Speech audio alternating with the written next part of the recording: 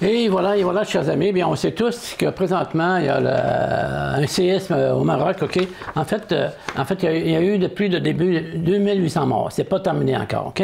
En fait, je lisais dans, les nouvelles euh, sur Internet, dans un site de nouvelles, ce qui suit, OK? Ce séisme au Maroc a arraché à un homme vivant au Québec 20 membres de sa famille. Cet homme, vivant au Québec et d'origine marocaine, vit l'horreur depuis vendredi, en plus de voir sa ville natale s'écrouler. A perdu un très grand nombre de proches. Il a reçu la nouvelle de sa sœur par courriel qui lui dit que maintenant, 20 personnes de la famille sont décédées. En fait, c'est toute une nouvelle, c'est toute une nouvelle qu'on n'a pas envie d'apprendre? Mais il faut comprendre que ce monde matériel est une illusion.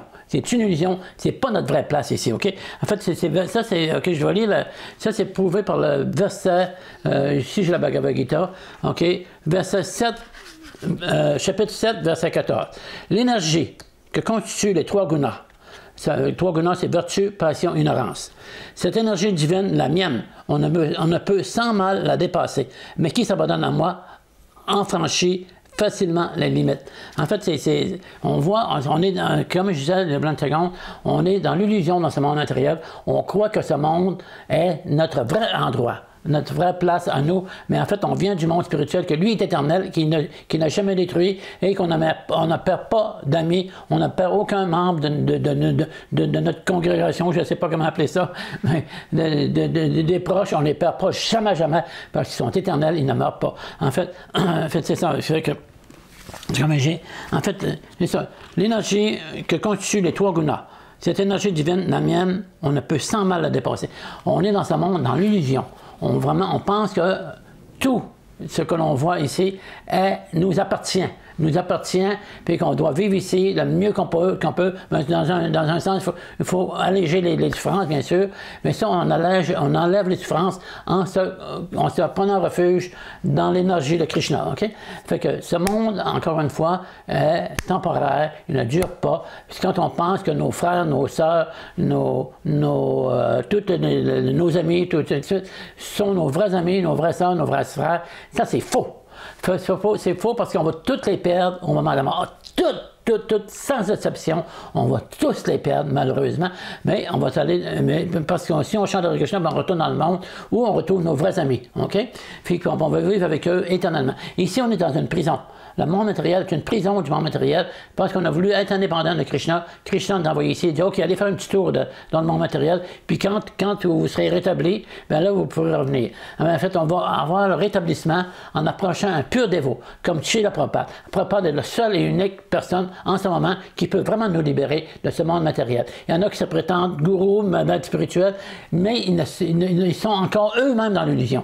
Fait qu'on doit prendre refuge dans une personne qui n'est pas dans l'illusion, qui, est, complètement libre de cette illusion. Enfin, c'est ça qu'il faut apprendre dans la conscience de Krishna, reprendre refuge en une personne qui, elle, comprend la vérité, a vu la vérité. Les maîtres de la vérité ont compris l'éternité du réel et la permanence de l'illusoire, de l'illusoire, et ça même, euh, j'ai perdu le lot, mais ça. Donc, donc, ça serait bien que vous lisiez sur le site vedaveda.com, euh, je vais mettre un lien juste ici en dessous, la, la teneur reportée de ce verset que je viens de lire, et puis, euh, ben c'est ça, ça le montre vraiment, encore une fois, qu'on n'est vraiment pas au bon endroit ici dans ce monde. C'est que malheureusement, c'est pas on n'est pas au bon endroit. Il faut, il faut en sortir. Il faut en sortir, puis penser qu'on va retourner, ben pas penser, mais on va retourner euh, bientôt dans le monde spirituel en compagnie de nos, vrais amis, de notre relation avec Krishna.